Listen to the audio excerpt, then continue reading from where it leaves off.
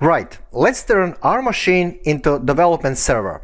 Please note, when you are dealing with serious stuff as programming, security, banking, always download uh, applications from official websites. Do not use FTP servers, don't use torrents and so on, don't use uh, old CDs from PC magazines because you will probably get some kind of Trojan horse, keylogger or something, so don't do that, okay? Always use SSL connection, secure stuff, you know, to grab those things. So down there, you can choose between dev server and web server on the right side. Don't choose web server. This thing uh, is important if you have already created your website, okay? If you want to open your machine to the rest of the world. But we are developers, we are working like on internet, on our machines, so we are kind of closed right now. We just want to experiment, mess things up, so we need dev server, okay? So you can click here and uh, then you can wait for a couple of seconds to process of downloading start or you can click here the same stuff okay? So I already have this application as I said on my uh, desktop so that will be a breeze. It's around 60 megabytes so no no issues about downloading. Now you can also use a WAMP server or XAMPP or whatever the name is if it's your cup of tea. And if you're on Linux you probably know how to do this up till now.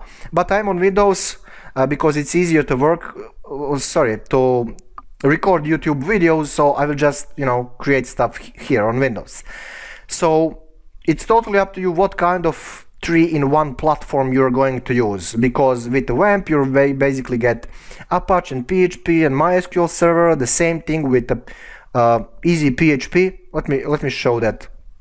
So you get PHP, Apache, MySQL, and a lot of other things, including PHP PHPMyAdmin, which is needed to mess around with uh, databases and so on. But basically, you don't need to care about these things. We are only interested in JavaScript. Okay. So where I was? Yeah. Let's run this thing. Important thing to note uh, run it as admin okay if you run it like normal user you will run into problems when you start when you try to run this uh, like application when you are done okay? So this is installation. Installation run as admin okay? So let's see what's up. Uh, hopefully that something will happen. Oh yeah so we need to click on yes and select setup language english.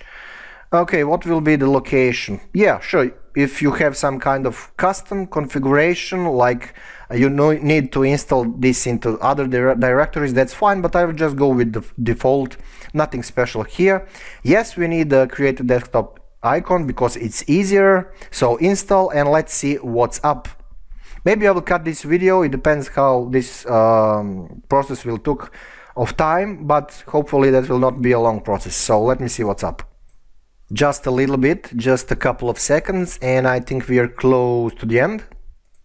Right, so here's the thing, do not click on finish here. There is a reason why I'm telling that. Look, uh, click here, I mean dcheck launch EHP dev server, get uh, click on finish, and now run this thing as an admin. That is very important. Now everything will work fine if you do that as admin. If you do that like normal user, you'll probably run into startup problems. So run as admin. Uh, Windows asks me, do I want to do that? Yes. And now, if you look into your right lower corner, lower right, you will see a new icon. So let me just do a print screen uh, because I want to explain everything. Right, so when you click on this icon, go to open dashboard. That means that you will run into control panel of Easy Dev server. Okay, that means, let me show that, that you can access this IP address. Basically, this is localhost, and these four things here, four numbers, this is a port for your control panel. So now, let's press enter and nothing will happen because I didn't oh yeah I clicked on that before so here's the thing this is control panel do leave this database thing alone. We don't need that. We don't need MySQL for now. And we don't need PHP my admin down there. It is enough just to start HTTP server. So let's do that. Start. And in a couple of seconds you will see that everything is fine here. Okay? When you see red thing here that means that you can cancel your server. So basically right now the server is working. Let's check that when I type enter here. I will run into this root of my server. So when I click here I will get PHP information about my system. But I don't care about PHP we're doing JavaScript here. So what you need to do is go to server root. Let me get out from here. And remember we have installed that into C into program files. So let me find that. Yeah easy PHP dev server. Get into eds www this is a root of your web server okay? And see phpinfo.php uh, that was the file we have accessed. So we're gonna delete this thing and we're gonna create our, our own index.html page. That's what we need because there we will put our javascript so let me do that. I will just delete that thing. Hopefully delete. Right. Now if you refresh uh, this thing you will get pretty much nothing because there are no files in our root okay? So what we need to do we need to go to notepad or whatever other editor you're using and let's type here plain HTML file so HTML we need to open it we need to close it. And here at the top we need to have head section. We don't care about head section right now. We don't care about keywords uh, title or description. We, we're just focused on javascript. But we need to uh, type this as a skeleton of our page. Simple stuff. You know this from uh, html tutorials. So head and then body down there. So we need to open it we need to close it. Simple stuff. Let's have a little bit of space here because this is the place that interested us. So let's save it. File save as and index.html okay don't save it as php save it as html file. Now when i click on save see i will get syntax highlighting and i can also have this option here that will save us a little bit of time. And uh, now let's check those pages that page basically.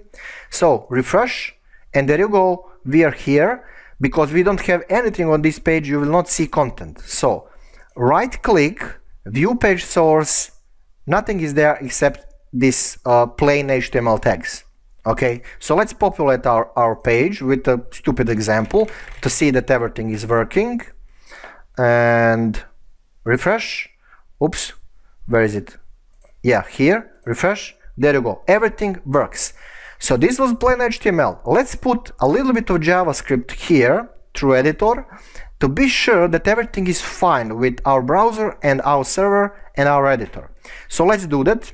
You don't need to understand these things right now. We will explain everything. Just follow me, basically do copy pasting, and in the next tutorial we're gonna ex start explaining everything.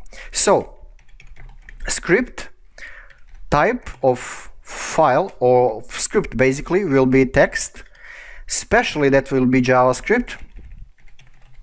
And then let's go there and we'll use function from JavaScript that is dedicated for printing things in browser.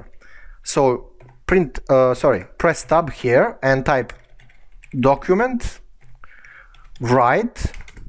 So we are writing to our basically page, our document in JavaScript terminology, and we're gonna say hack the planet.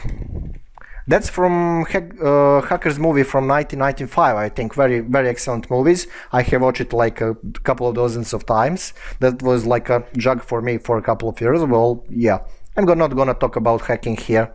That's weird stuff. Yeah, maybe in next tutorials. I don't know. So yeah, where was? Let's save this thing and uh, let's refresh it to see that everything is working. Well, I don't, why I don't see results? Let me see. Oh yeah, I didn't close my script. Sorry about that. We must open and we must close our JavaScript. So that was extremely dumb, but it can happen. Now we will have results. refresh, there you go. We are sure right now that everything is working fine. And in the next tutorial, we will start explaining about JavaScript. So, you don't need to know these things, you don't need to understand. Don't worry, relax, breathe, and see you in next tutorials. Of course, thank you for watching, for support and subscription, so see you there.